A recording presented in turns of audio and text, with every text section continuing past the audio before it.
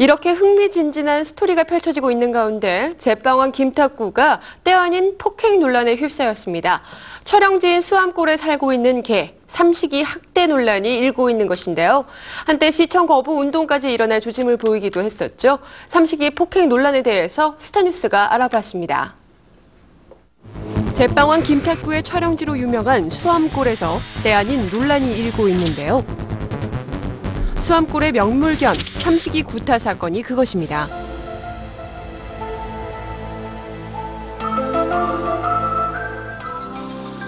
제빵왕 김탁구의 팔봉빵집 촬영지가 위치한 수암골에 살고 있는 삼식이.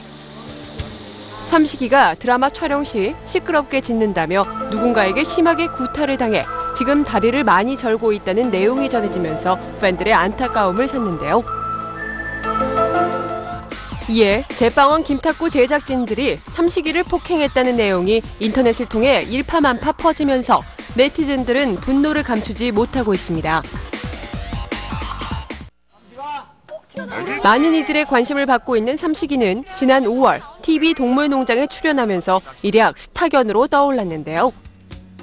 자신의 이름을 들으면 담벼락으로 고개를 내미는 삼식이를 보기 위해 일부러 수암골을 찾는 관광객이 있을 정도로 많은 사랑을 받아왔습니다. 놀랍게도 포즈를 잡을 줄 안다는. 이러한 사실이 전해지자 제빵왕 김탁구 제작진은 사실 무근임을 밝히며 지난 17일 오후 드라마 홈페이지 시청자 게시판을 통해 적극 해명에 나섰습니다. 제작진은 최근 논란이 된 청주 수암골에 사는 삼식이 폭행 논란은 사실과 다르다며 삼식이 주인은 드라마 촬영 때문이 아니고 자고 일어나 보니까 개가 다리를 절었고 그날은 촬영하는 날도 아니었다고 사실을 밝혔다고 전했는데요. 이에 사실 확인을 위해 스타뉴스 팀에서 직접 수암골에 다녀왔습니다.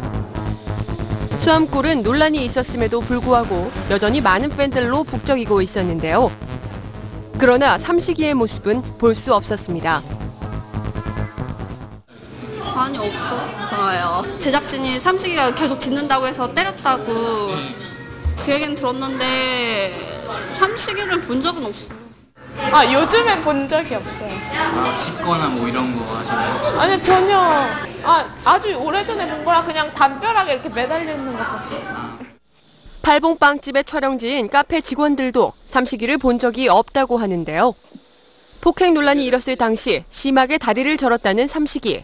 그러나 삼식이는 전치 5주라는 소문과는 달리 1, 2주 정도의 치료로 완치됐다고 하는데요. 저랑 주인이랑 같이 갔죠.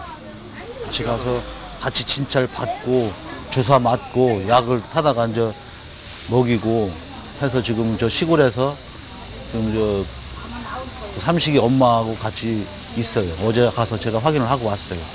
진단 글쎄 그 TV에 오늘 저기 인터넷에 보니까 뭐 진단이 5주가 나왔네 뭐냐 하는데 그건 아니고 사실 이제 한 일주 내지 2주 정도는 치료를 했어요. 약을 먹이고. 근데 지금은 다 난 상태고, 음, 뭐 활동을 왕성하게 하고 있으니까 염려 안 하셔도 돼요. 삼식이가 다쳤던 날은 드라마 촬영이 없었으며 드라마 제작진의 폭행이 아닌 관광객의 소행일 것이라고 추측하고 있었는데요. 거의 나 그렇게 알고 있습니다. 그날은 촬영도 없었고, 그렇게는 안 했었어요. 그건 아니었었고, 머리 정 머리를 그냥, 그냥 짖지 말라고 투닥거리는 손, 음, 톡톡 때리는 그 정도고, 다치게 한 건 아니고, 본인들이 보지도 않은 사람들이 자꾸 남 글만 가지고 자꾸 보태서 얘기를 하니까 화가 난단 말이죠. 제작진은 직접 삼식이를 찾아가 현재 상태를 확인한 후 홈페이지를 통해 삼식이의 사진을 공개할 예정이라고 하는데요.